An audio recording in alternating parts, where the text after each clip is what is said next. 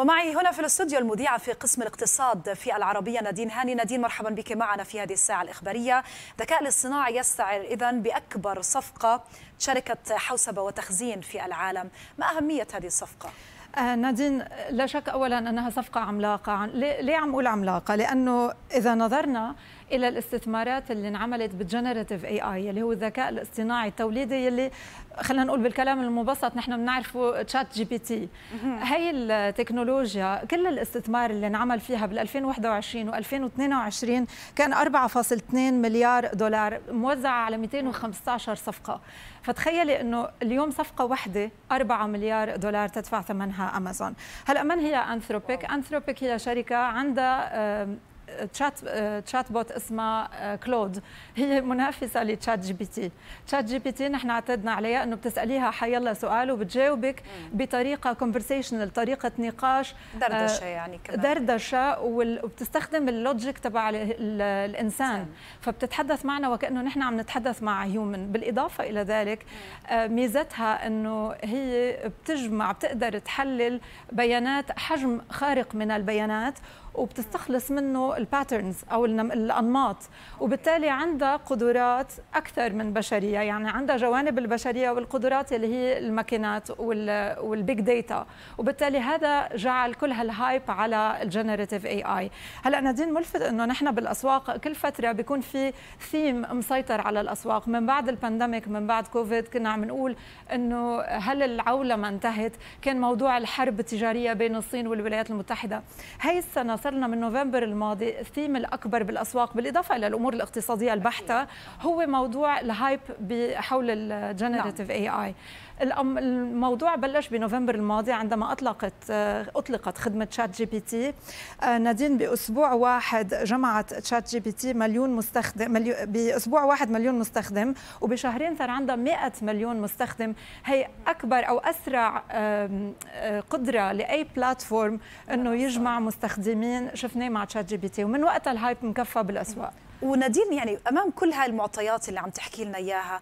إذا رجعنا للتسعينات ولما كنا نحكي عن dot-com bubble وهي الطفرة بدخول عالم التكنولوجيا ودخلوا في التلفزيون وبالكمبيوتر وما إلى ذلك هل يمكن الحديث إنه نحن أمام فقاعة فقط طفرة أم ماذا؟ يعني إلى أين ستصل الأمور في مستقبل الذكاء سؤال بمحله جدا نادين. خليني لاقدر جاوب على سؤالك. خلينا نتحدث عن ما جرى بالاسهم هذا العام. إذا نظرنا من أول السنة لليوم ال S&P 500 مرتفع 13% بس صار في correction مؤخرا. قبل شهر كانت ارتفاعات ال S&P 18% منذ مطلع السنة. فقط سبعة أسهم مسؤولة عن 88% من هذا الارتفاع. هي الاسهم هي كلها الشركات اللي بتعنى بالتكنولوجيا ومنها انفيديا انفيديا وحده تضاعف أسهمها ثلاث مرات. انفيديا بتصنع ال hardware وال software لل AI لخدمات كانت عنوان بالفترة الأخيرة كانت عنوان. فعم يعني عم بجرب اوضع إطار قديش السوق ارتفع على ال optimism على ال AI أكيد مبرر انه نقارنه هل هو شبيه بما حصل بال dot-com bubble. كمان لنقارنها خلينا نقول انه ال dot-com bubble صحيح انه صار في crash بس اللي طلع من ال dot-com bubble هي غير حياتنا يعني استخدامات الإنترنت بعدنا لليوم غيرت حياتنا. بس بوقتها كان في عدد كبير من الشركات صارت ال valuations التقييمات تبعها غير مبررة وحصل ال crash من بعده. هلأ اليوم هل نحن بفقاعة؟ تنقدر نجاوب إنه هل نحن بفقاعة؟ بدنا نشوف أول شيء موضوع ال AI إلى أي مدى هو تحولي. المتفائلين بيقولوا إنه هو يقارنونه بمثلا اختراع الكهرباء واختراع ال steam engine يلي هو كان أساس الثورة الصناعية بالقرن التاسع عشر. فبوقتها هي الاختراعات لم تكن لمنتج واحد هي اختراعات طبقت على نطاق واسع أثرت على قطاعات اقتصادية برمتها ورفعت الإنتاجية. المتفائلين بيقولوا إنه اليوم ال generative AI هو يلعب هذا الدور هو اختراع رح يغير طريقة العمل ورح يكون له impact اقتصادي كبير جدا. كيف؟ خلينا نعرف يعني شو ممكن مثلا إحنا نتخيل كيف سينعكس الذكاء الاصطناعي وتوظيفهم بكبرى شركات الاقتصاد على الاقتصاد وحتى على الوظائف نحن كوظائفنا كبشر. اليوم في دراسة لجولدمان ساكس بتقول إنه الاستثمار بال generative AI بال 2025 بتتوقع إنه يتخطى ال 200 مليار دولار. فاولا عم نحكي عن حجم استثمارات ضخم. لماذا هذه الاستثمارات؟ لأن اليوم الاستخدامات لا تزال نوعا ما محدودة. محدودة يلي هي وكمان ما ننسى إنه بدك كثير استثمار لحتى نحصل على تطبيقات موسعة لهذه التكنولوجيا. فهذا بحاجة إلى استثمار كبير. هلأ في حال جولدمان ساكس بيقولوا إنه إذا تم استخدامها على نطاق واسع ممكن أن ترفع الناتج المحلي الإجمالي العالمي ب 7% وممكن إنه ترفع الإنتاجية السنوية ب 1% ماذا نعني إنتاجية؟ إنتاجية هي زيادة ال productivity لما بترتفع الإنتاجية للموظفين آه، بيرتفع الطلب لأنه الموظفين بصير عندهم income أعلى بيرتفع الطلب بالتالي هذا بيخلق دورة اقتصادية.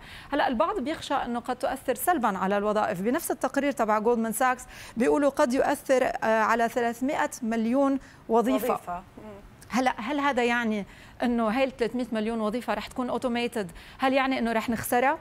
الجواب إنه إذا نظرنا تاريخيا عن كل مرة كان في خسارة وظائف ال increase in productivity أو ارتفاع الإنتاجية بيرجع بيخلق وظائف أخرى. تخيل إنه بإحصائية نادين لفتت نظري نحن اليوم الوظائف اللي نحن فيها 60% منها لم تكن موجودة بال 1940 يعني الوظائف اللي نحن فيها 60% ما كانت موجودة. لماذا؟ لأنه عندما تخلق تكنولوجيا جديدة تخلق وظائف آه، وظائف مرتبطة بهذا القطاع. وبالتالي اليوم ما عم نحكي عن jobs replacement عم نحكي نحكي عن complementing jobs أو رح تكامل بين تكامل وبتصير ومن المفترض إنه هالنوع من التكنولوجيا بتساعد الموظفين إنه يعملوا وظائفهم بشكل أفضل؟ فبدل ما ياخذك research مثلا على شغلة تاخذ عدة وقت بسؤال واحد على ChatGPT أو بالزبط. اليوم Claude خلينا نقول مع مع بس بدنا نعطي فكرة لطلاب الجامعات والمدارس على هالموضوع. هو في يعني جزئية كبيرة ما تطرقنا إليها هي السلبية تبع ال AI يعني في المخاطر وهيك بس إنه كلمة تفضلي نادين. كان بس بدي أقول إنه أكيد رح تتحدثوا عن حل مشكلة الإضراب تبع ال screenwriters بهوليوود. آه أكيد. تطرقنا إليها تخيلي إنه جزء من المشكلة تبعهم جزء من سبب الإضراب هو إنه آه، حاطين شروط كنقابات إنه ما بدهم استخدام ال AI يحل مكانهم. فاليوم في كثير downside لل AI إذا ما كان regulated إذا ما كان آه. تم تشريعه وعمل أنظمة لضبطه بشكل صحيح اكزاكتلي أكيد للحديث تتمه لا يمل دائما. نستفيد منك نادين هاني زميلتنا والمدير